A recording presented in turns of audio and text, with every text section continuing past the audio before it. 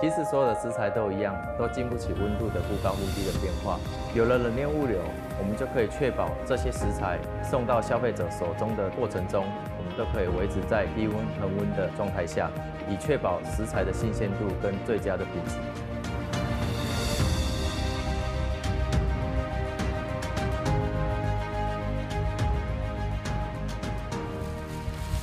外销的速度啊较低咧，就是较青来拍。因为咱咧坐船坐一个月。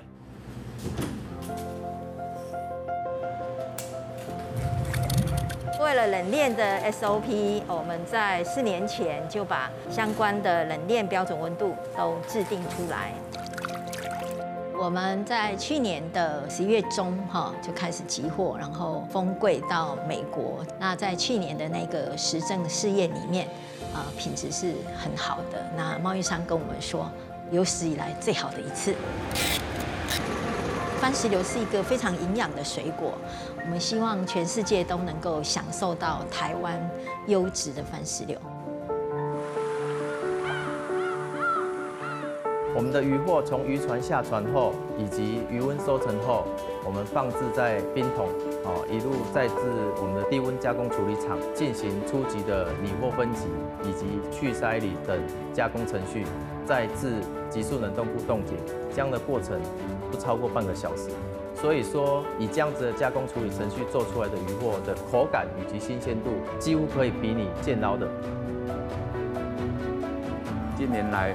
食安问题越受重视，许多大厂商将补体导入冷链物流，从冷藏库、冷冻库以及啊冷链车辆，在低温的保存下啊，减少细菌的滋生，